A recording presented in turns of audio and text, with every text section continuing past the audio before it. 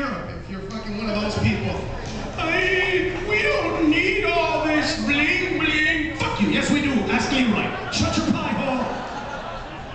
Tired of people's bullshit. But on the other hand, let's remember how good we have it. You know what I mean? Yeah, we're good in this country.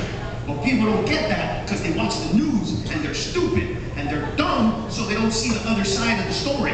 They don't see the other side of shit. Like when you're watching the news, know that there's another side to a story that they're not telling you because it's not interesting enough or it's not fun enough or you're not gonna watch it enough.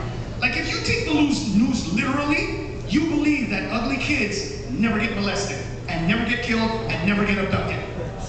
Think about it. When's the last time you saw an ugly kid and his face on fucking newspaper or news magazine or CNN, MSNBC, CNBC, or Fox News and saying, find this kid, he got abducted?